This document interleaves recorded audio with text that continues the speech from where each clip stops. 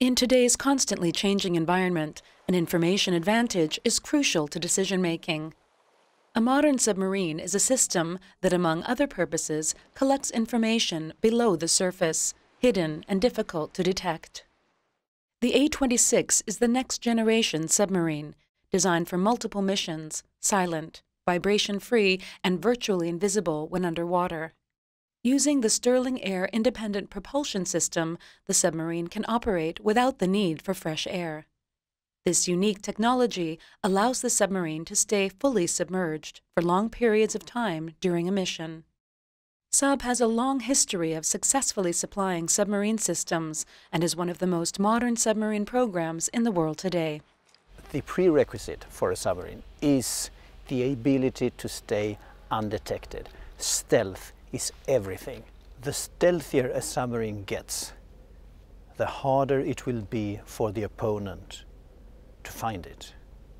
So, a submarine in itself is a force multiplier for your own navy.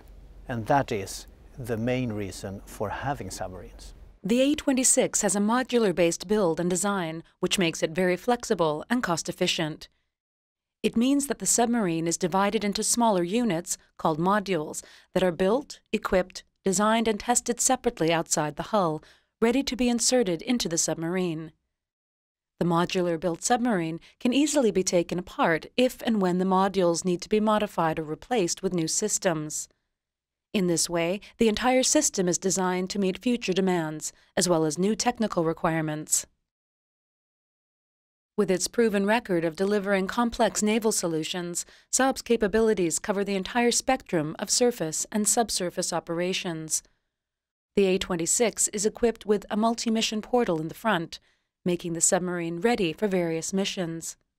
The A-26 also needs less service on land, and can thus spend more time in service at sea than earlier vessels. I would say the importance of having a submarine, uh, it's vital for the Swedish Navy, but not, not only for the Swedish Navy, for the whole Swedish Armed Forces, because it's a very important uh, part of building a threshold. You will gather intel, or you will deliver divers, uh, or you will even deliver weapons if necessary. To uh, be able to have the stealth capability to uh, work covert and uh, unseen is vital, and that will always give us the advantage. Our design and production methods make the submarine future-proofed. That means that it will stay on the crest of the wave for its entire life cycle.